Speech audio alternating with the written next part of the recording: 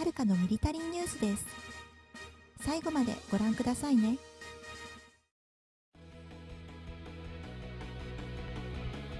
こんにちははるかです。今日は米 B2 に匹敵する爆撃機を開発。中国空軍トップが認める。をお届けしますね。中国空軍が米国の B2 ステルス爆撃機に匹敵する。新たな長距離戦略爆撃機を開発していることが公式に確認された。中国人民解放軍の馬行天空軍司令官は今月1日中国空軍の長距離爆撃能力は過去に比べ大きく向上したが今後はさらに大きく向上する。我々は新世代の長距離戦略爆撃機を開発しており遠からずして中国人はこれを見ることができるようになるだろうと語った。人民網などが2日に報じた。馬司令官は1日近隣省長春で開かれた行事において空軍航空大学の新入生1100人を前に訓示を行いその中でこのように発言した。中華圏の各メディアは馬司令官が言及した新世代の戦略爆撃機とは米国の B2 ステルス戦略爆撃機を意識したものと分析している。香港の鳳凰網は中国空軍は既存の TU16 爆撃機を全面革新した H6K を開発したが作戦半径は中型戦略爆撃機レベルの3500キロにとどまる上にステルス能力はなく本当の意味での戦略爆撃とは言えないと伝えた。また中国にサーバーを置く中華圏メディアタイも長距離戦略爆撃機の開発は中国空軍の長年の夢だった。周辺情勢が厳しい中で米国のグアム基地を含む重要地点を攻撃できるステルス戦略爆撃機の開発は急を要すると伝えた。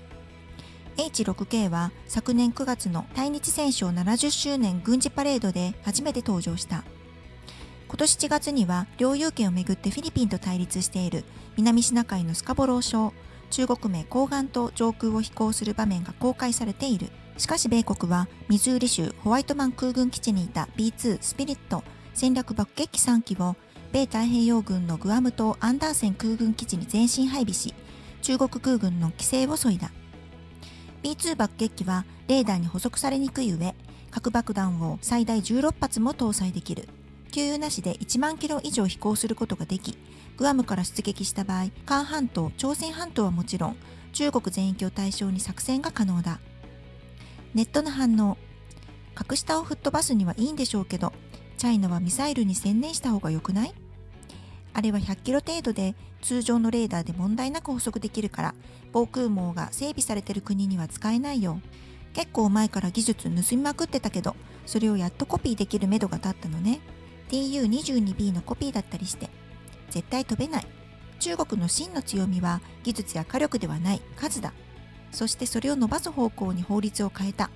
すでに始まってるんだよ。B2 のベンチマークある。ロシアもアメリカも含め新型爆撃機の開発ブームになってるな。立地的に離陸からずっと補足されてるステルス爆撃機なんて素敵やん。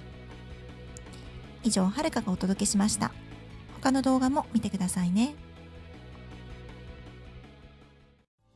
はるかです。最後までご視聴いただきありがとうございました。あなたの応援が励みになりますのでチャンネル登録をお願いします。スマホの方は画面下のチャンネル登録ボタンから登録をお願いしますまたグッドクリックやコメントもお願いしますそれではまた次の動画でお会いしましょうね。